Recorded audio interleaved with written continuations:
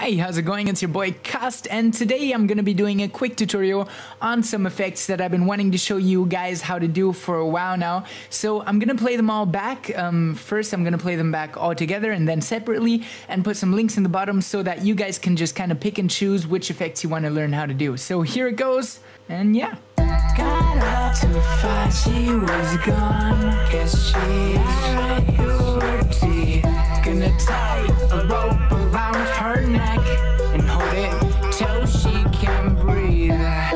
So the first effect I got is basically just a delay with a filter on it.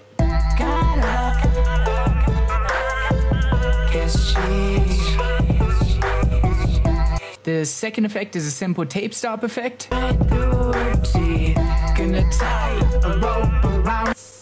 So basically that's the effect that you're hearing in the background here. And the third effect is this one right here.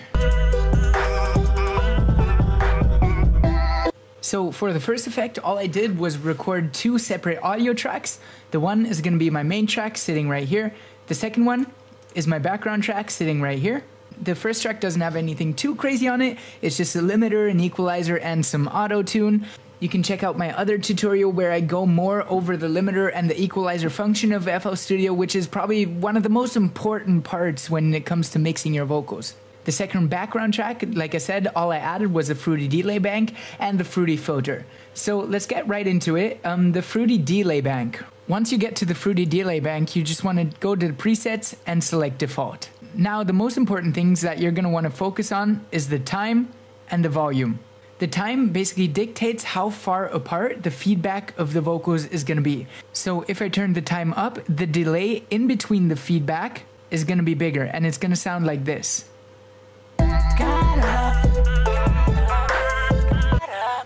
And if I turn the time down all the way, it's to sound more like this.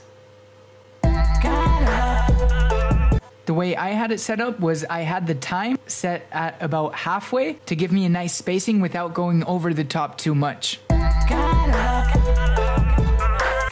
So once you got the time adjusted properly, you're gonna wanna focus on the volume. The volume basically dictates how loud the feedback is gonna be. So if I turn it up all the way, it's gonna sound like this.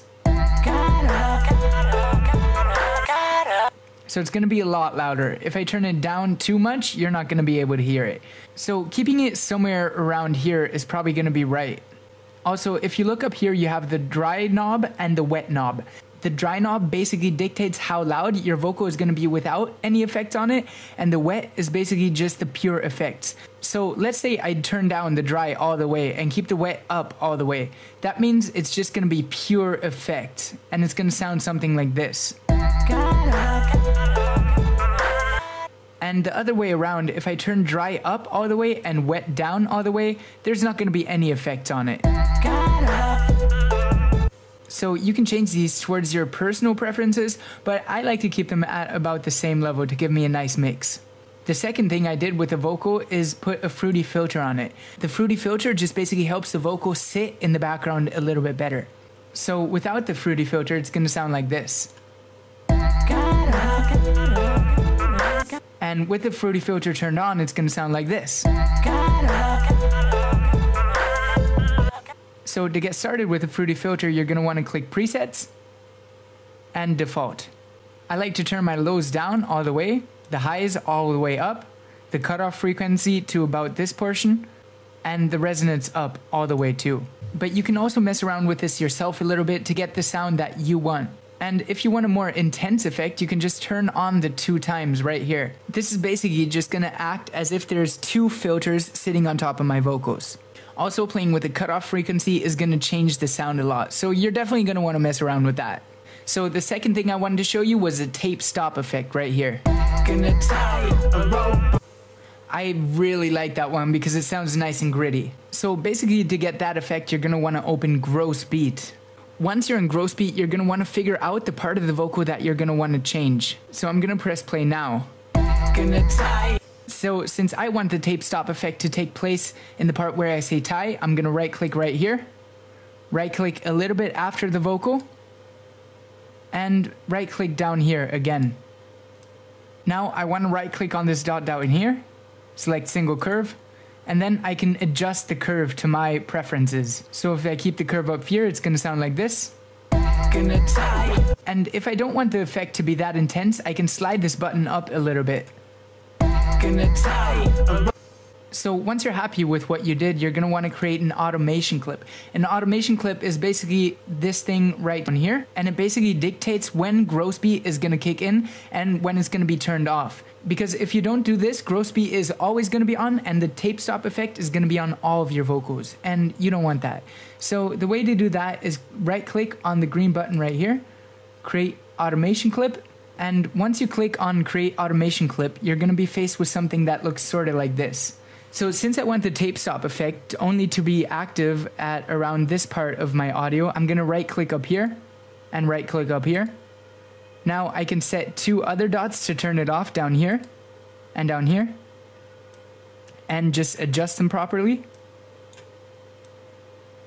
And once I did that, I can drag down these ends here which basically means that the gross beat effect is going to be off through this portion of the song, turn on through this portion of the song, and turn back off right down here. So once you're done, it should sound sort of like this.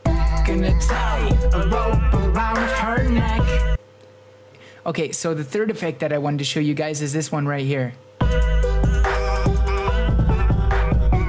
I really like this one because it sounds super gritty. For this one, I recorded two separate audio tracks, and both of them are basically gonna have the same effects. The first effect is pretty simple. It's called the stereo shaper, but I'm not to get into the fruity stereo shaper right now because I did do another tutorial where I mentioned it before. So if you guys want to hear about that, just click the link that's popping up right now.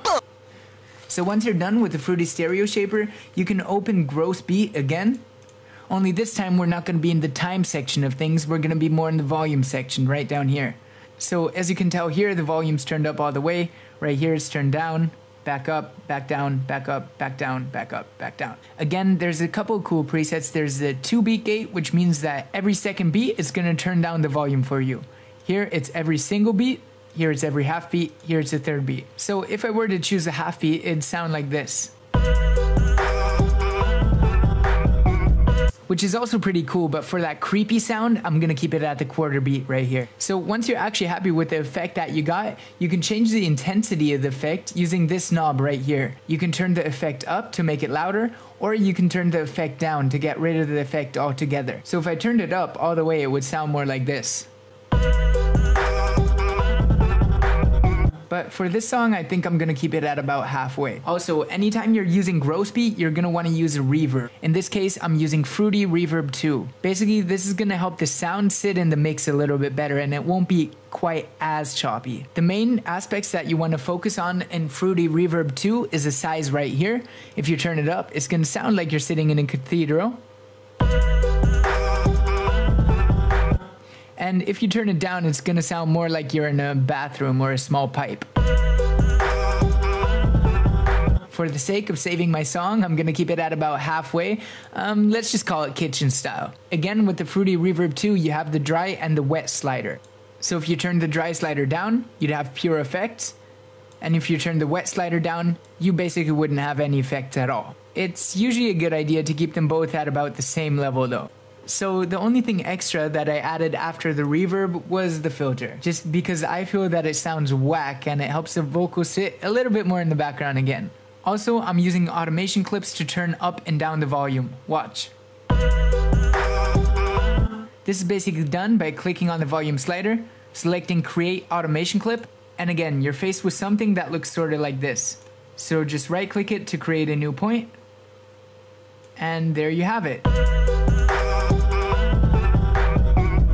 So leaving on that note, I want to hope that this video wasn't too long and I could give you guys some inspiration pointers and new tips. Be sure to like, comment, rate, and subscribe. And check out my other videos on compression and equalization because I think that's one of the most important things that you're going to want to learn when you're just starting off. And remember that this whole music thing, it's not about being the best. It's about having fun on your way to becoming the best. Have a good one. To find she was gone. Guess she had authority Gonna tie a rope around her neck And hold it till she